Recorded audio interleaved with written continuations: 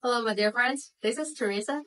2023 is over, and I'd like to thank you for trusting us and being with us all along the year.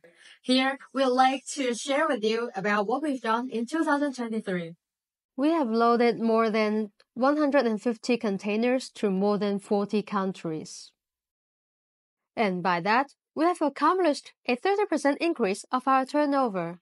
We've acquired several new certificates such as RoHS, CE, BSCI, ISO 9001, ISO 14001, QMI, and ETL on the way.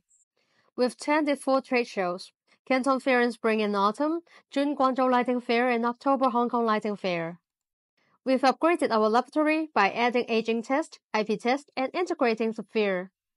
Also, we've launched more than 50 new products to both plastic and aluminum category.